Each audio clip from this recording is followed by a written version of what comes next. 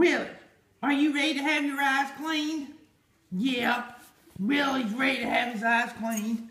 Yeah. It's not good to have dirty eyes, Daddy. Nobody likes a puppy dog with dirty eyes.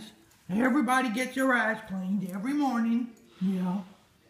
It's fun usually, Daddy. We like having our eyes cleaned. Willie came right over because he knew it was time to have his eyes cleaned.